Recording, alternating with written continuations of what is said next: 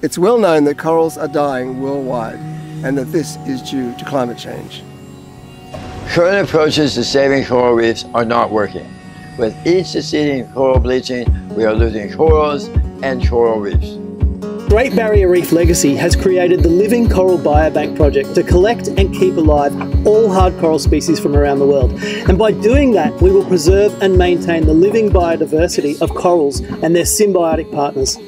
The Coral Biobank will work because corals, unlike most marine life, can live in perpetuity. Scientists have discovered that corals live with a host of symbionts we will keep both the corals and the symbionts alive so that when they are returned to their native state, they will have both together and they need both together and no other project is doing this.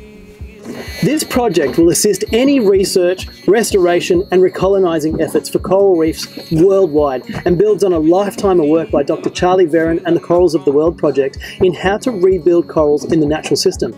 But more than that, it pulls in industry leaders, Cairns Marine, who have been successfully collecting, transporting and keeping corals alive in aquaria for over 40 years.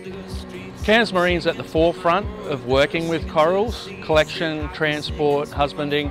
So for us, given that we're so passionate about the reef and the corals, and we do view ourselves as custodians, uh, it's a natural fit for us to want to be involved in such a fantastic project like this. We've just come back from the Northern Great Barrier Reef where corals have been decimated firstly by mass bleaching and then by cyclones. We've got to collect what's left now because if we don't it will be too late. The Living Coral Biobank project has already started and we're out here right now finding the best places to start our collections on the Great Barrier Reef.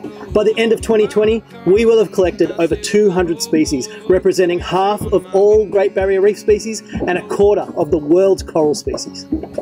We have the technology right now to set up a biobank. And the reason we have that is because we've got all the skills in-house. We've been doing this for a long time. We know how to collect corals, we know how to store them, and we know how to grow them.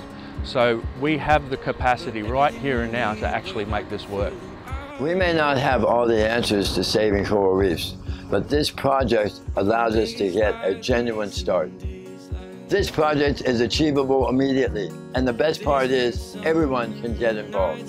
The Living Coral Biobank is the most important project we can undertake right now for corals and coral reefs.